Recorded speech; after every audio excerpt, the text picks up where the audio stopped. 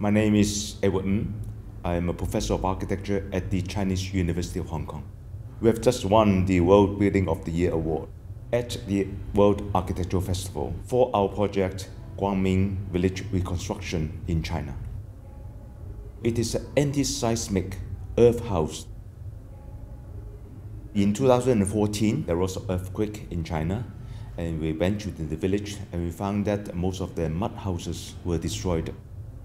We saw that people there were suffering, especially an old lady who lost her house and was living in a tent. I was very touched. That was our motive for this building. The most important thing when we first started work is to investigate what were the problem of the destroyed house. So we collaborate with the local university in Kunming, and they actually help us to connect up with the villagers and also the local government.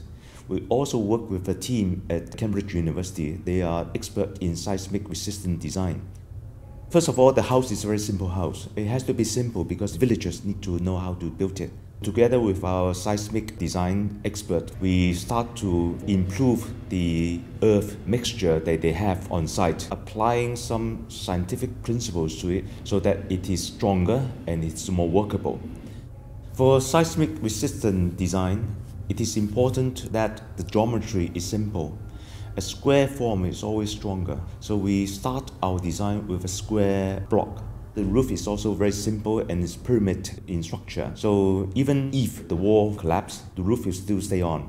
So it allows people to escape without being hit by the tiles and structure and things like that.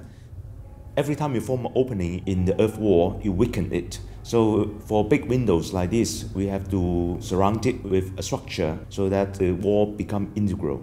The window frame is made of concrete so that when the wall need to shake, the concrete will hold it intact.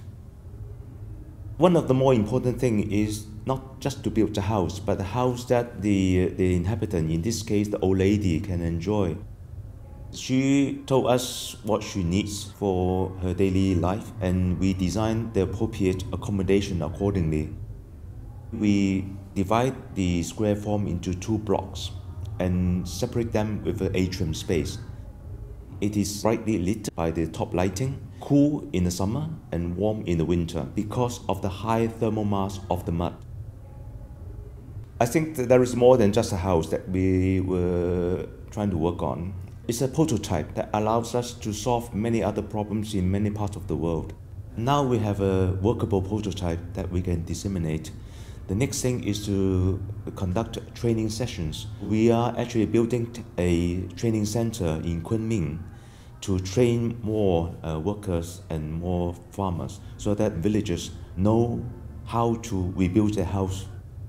Earthquake is not a China problem, it is a worldwide problem. A lot of people live in mud houses.